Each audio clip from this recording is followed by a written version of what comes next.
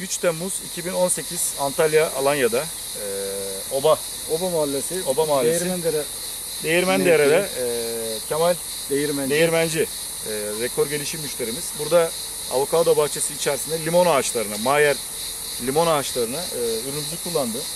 Bu limonlarda ne oldu? Öncelikle topraktan başlayalım. Toprağımızın yapısı neydi? Ne oldu? Ya, Limonumuz nasıldı? Ne hale geldi? Vallahi rekorlu gelişimi verdik. Ee, Toprak gevşedi. Su- Tamam. suyu daha çok tutuyor. Bir suluyorum mesela 10 gün falan sürüyor. Suluyorsunuz. Sulama tasarrufu sağlıyor. Tabii sulama Toprak tasarrufu gevşek. sağlıyor.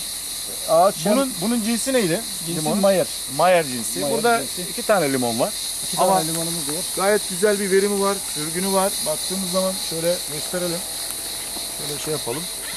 Şurada görüldüğü gibi limonların şeyi eee, neredeyse ermek üzere herhalde. Evet, bir- şu anda suyu kadar. var yani yemeğe, Şöyle. yemeğe falan kullanıyoruz.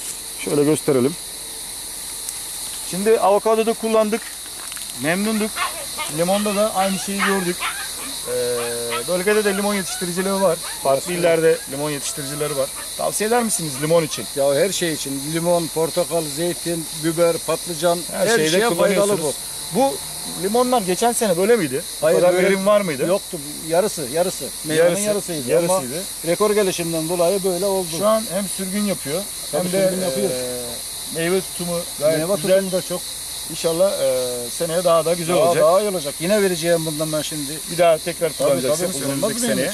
Kullanacağız. biz teşekkür ederiz. Limonla alakalı da kullanımınızı bize Tamam. paylaştınız. Biz de teşekkür ederiz. Sağ olun. Siz de sağ olun.